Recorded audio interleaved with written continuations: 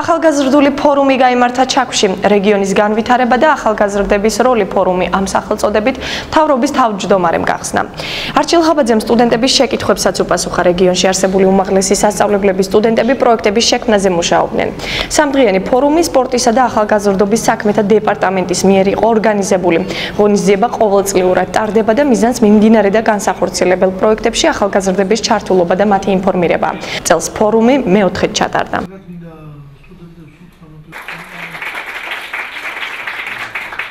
საინტერესო კითხვები იყო, მოსაზრებები, ინიციატივები. ჩვენ ბევრი ვისაუბრეთ იმ წარმატებებზე, იმ ინიციატივებზე, რომელიც სპორტისა და ახალგაზრდობის დეპარტამენტს აქვს, ზოგადად სამინისტროს ახალგაზრდების როლზე და განვითარებაზე და ჩართულობაზე ზოგადად რეგიონის განვითარებაში. საინტერესო კითხვებიც იყო, ну, აინტერესებთ სტუდენტებს ზოგადად უნივერსიტეტში არსებული სიტუაცია, თვითმმართველობის როლი, მათი ვიცი ბანკიერი მხარეები და ძლიერი მხარეები, ასევე საინტერესო იყო და ძალიან კარგი კითხვა დაესვა სტუდენტების დასაქმების კუთხით, საზაფხულო დასაქმებაზეა საუბარი, ჩვენ მუნიციპალიტეტის დონეზე გვაქვს რამდენიმე პროექტი, მაგალითად ბათუმის შემთხვევაში მერიას აქვს პროექტი დასაქმების, მაგრამ მთლიანად რეგიონის მასშტაბით შეიძლება გამოიყოს თქვათ ეს მიმართულება და